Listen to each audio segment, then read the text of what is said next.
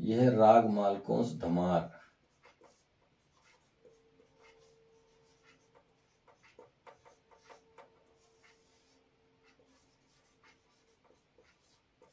स्वर लिपि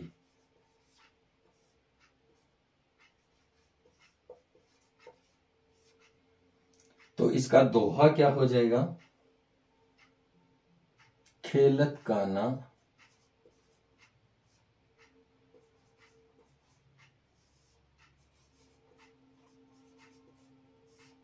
ब्रिज में होली ब्रिज में होरी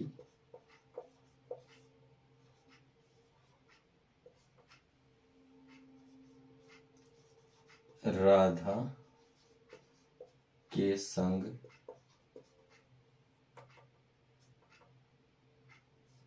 चोरी चोरी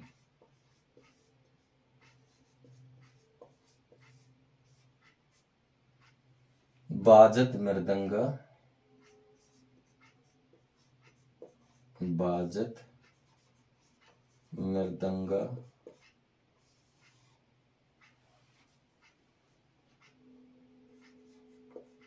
ध ध। दिन त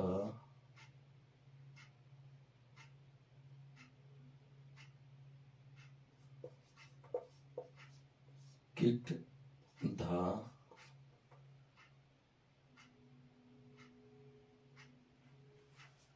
तिटकत गदिगन। तिट कत गदिगन।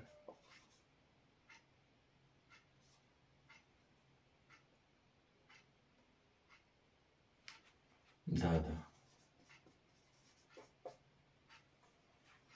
तो ये जो दोहा है, ये यहाँ से यहाँ तक इसको स्वरों में कैसे लिखना है, ये स्वर लिपि होती है। ठीक है? तो सबसे पहले हम इस लाइन को लिखेंगे, खेलत काना ब्रज में होरी। ठीक है? इसको कैसे लिखते हैं?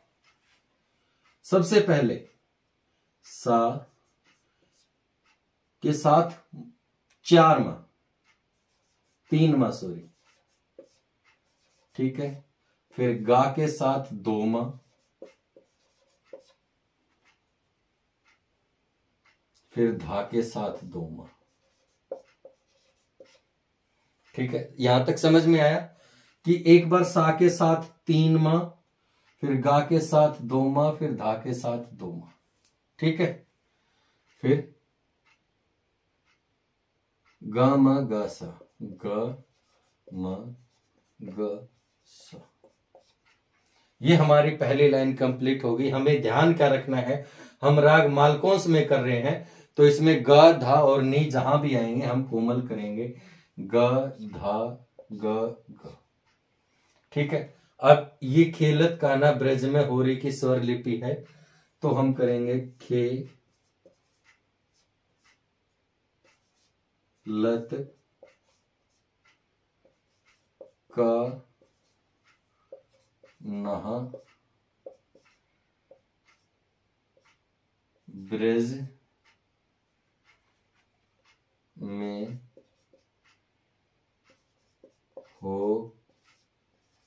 री ये जो एस का निशान है, इसको हम बोलते हैं अवग्रह। ठीक है? खेलत कान्हा ब्रिज में हो रही। ये हमारी पहली लाइन होगी, जिसको हम स्थायी बोलते हैं। दूसरी है, राधा के संग चोरी चोरी। ठीक है? अब इसमें क्या करना है? गम धनी। पहली हमें वर्डिंग याद रखनी है, ग म ध नी ठीक है, ये चार अक्षर हमें पहले याद रखने हैं। ग म ध नी अब छह बार हमें सा लिखना है। ये तार सप्तक का सा रहेगा। छह बार लिखना है। दो, ये तीन, ये चार, ये पाँच और ये छ ठीक है? पहली क्या? गम धानी फिर छह बार सा।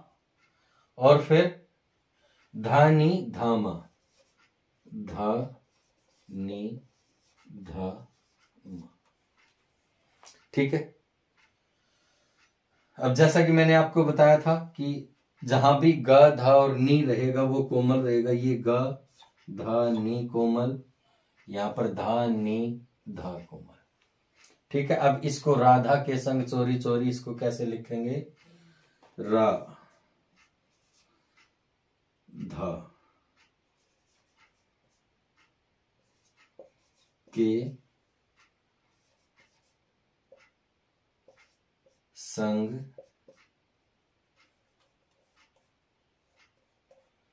संग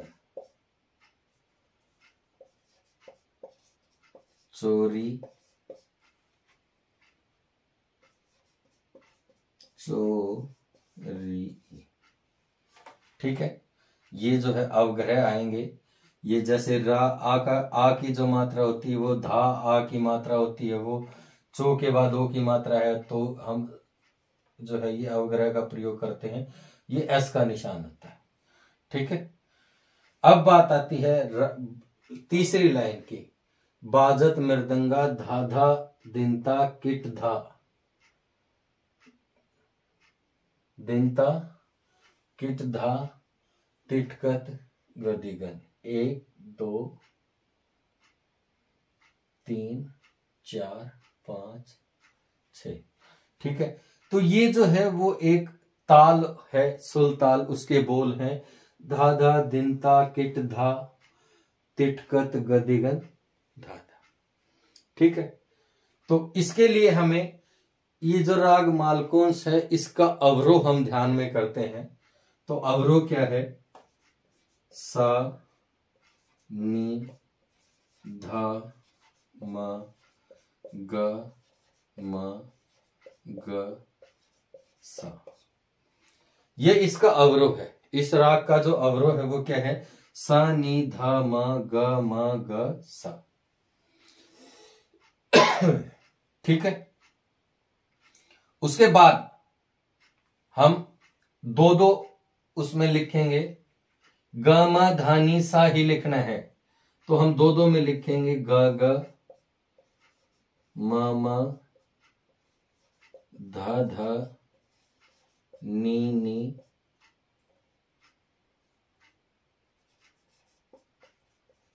सा सा, और सा। सा। ठीक है? ये थोड़ा सा कंजस्टेड हो सकता है। आप जूम करके इसको जो है वो देख लेंगे। अब हमें बाजत मृदंगा ये लिखना है। ये वाली लाइन इसके नीचे कैसे कैसे लिखेंगे? बा। जत मृ दंगा। ठीक है? अब ये इसके नीचे लिखना है। धा धा दिनता किट धा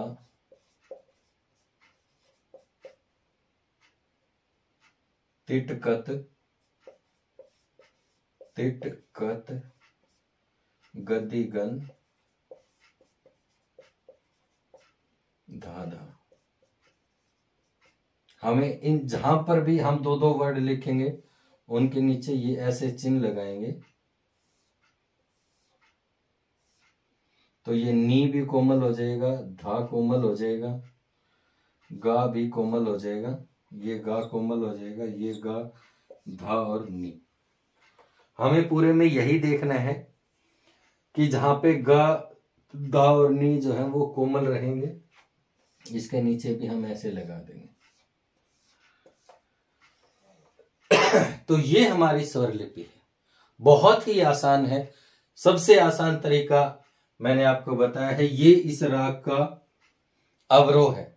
राग मालकों का सा, नी, धा, मा, ग मा, ग, सा। और उसके बाद गा, मा, धा, नी, सा लिखना है, लेकिन डबल डबल लिखना है। गा गा, मा मा, धा धा, नी नी, सा सा सा सा। ठीक है? तो ये बाजत, ये जो है पूरी, ये हंड्रेड परसेंट जो है आपके पेपर में जो है छह नंबर का आएगा। और आपको इसके ऑप्शन में कोई दूसरा क्वेश्चन नहीं मिलेगा, इसलिए आपको यही क्वेश्चन जो है वो याद करना ठीक है? आशा करता हूँ आपको ये जो है पूरा क्वेश्चन पेपर मैंने आपको करवा दिया है। ये आपको अच्छा लगा होगा। ये गारंटेड है कि अगर आप ये पूरा वीडियो देखते हैं, पूरे क्वेश्चन पेपर को आराम से एक चित कॉन्सेंट्रेट करके पढ़ते हैं तो आपके पेपर में पूरे के पूरे तीस मार्क्स आएँगे। कोई एक भी नंबर नहीं काट सकता। और अगर आपको ये वीडियो अच्छी लगे तो लाइक, शेयर और सब्सक्राइब करना ना भूले। Thank you. Have a nice day.